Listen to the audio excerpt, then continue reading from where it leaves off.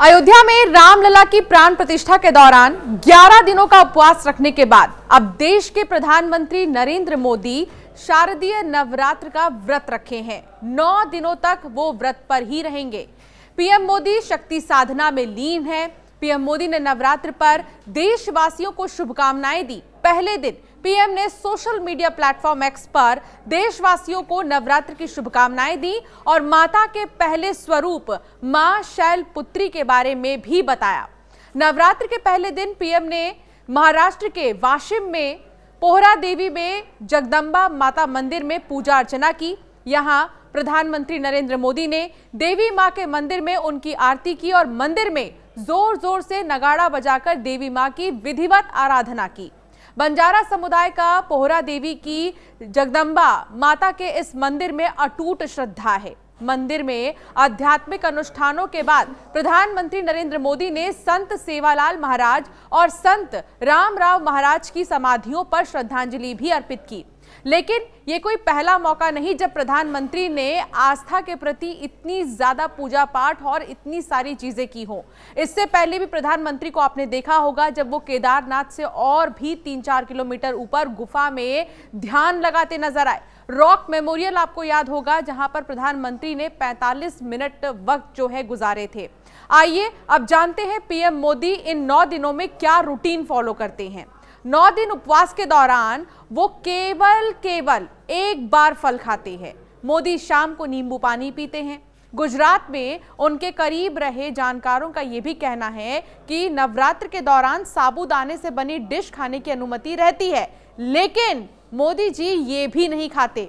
इस दौरान हमेशा की तरह प्रधानमंत्री रोज सुबह योग करते हैं और ध्यान भी लगाते हैं। व्रत के दौरान व्यस्त दिनचर्या के बावजूद प्रधानमंत्री रोज सुबह पूजा ज़रूर करते हैं।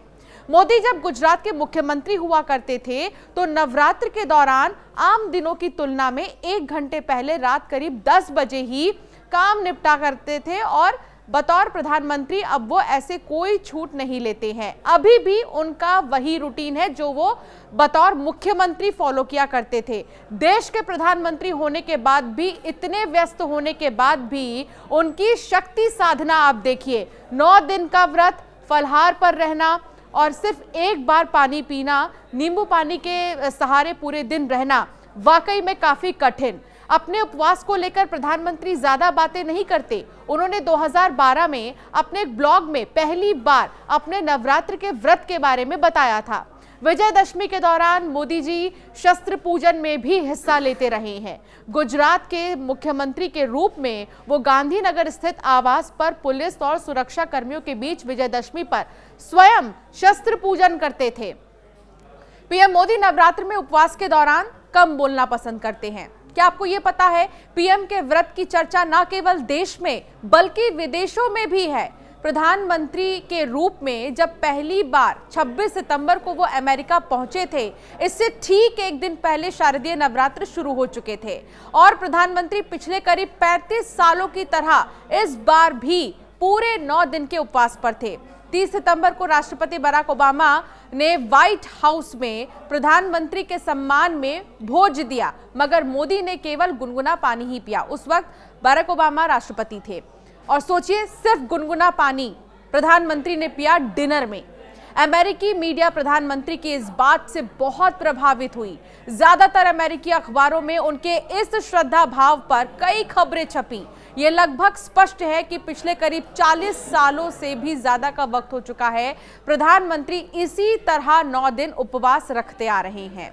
एक बार उन्होंने अपने ब्लॉग में और कविता संग्रह साक्षी भाव में लिखा था, नवरात्र के उपवास उनका वार्षिक आत्मशुद्धि व्यायाम है। जो उन्हें हर रात अंबे माँ के साथ बातचीत करने की शक्ति और क्षमता प्रदान करता है।